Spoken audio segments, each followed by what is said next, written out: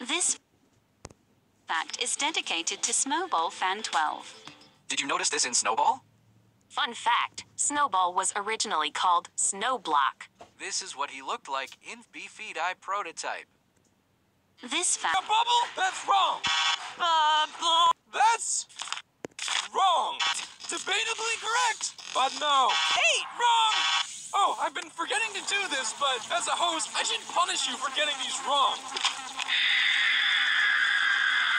No,